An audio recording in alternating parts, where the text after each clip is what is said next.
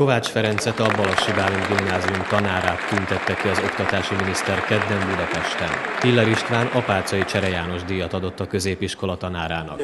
Ezt az elismerést évente az alap- és középfokú oktatásban 10 és a felsőfokú oktatásban is ugyancsak 10 kaphatják meg. Én azt hiszem, hogy ez a iskola, mármint a Balasi Gimnázium munkáját is elismeri, meg egyúttal a pedagógus munkának a méltóságát megadja. Apácai díjat először 1973 nyarán adtak, melyet eredetileg pedagógusok kaptak a pedagógus napon.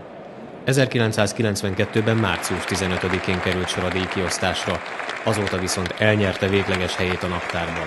Januárban osztják ki a Magyar Kultúra napján. Kultúra és oktatás, közművelődés és közoktatás, felsőoktatás érdekei és céljai egy és ugyanazok ahogy egy jó tanító nem csak leckét tanít meg és oktat, hanem nevel is.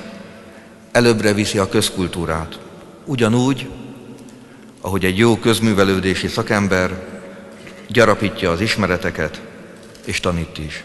Kovács Ferenc a Balassa gyarmati tanítóképző után a Debreceni Egyetemen szerezte meg tanári diplomáját. A Balassi Bálint gimnáziumban, amelynek igazgatója is volt, már több mint 40 éve tanít.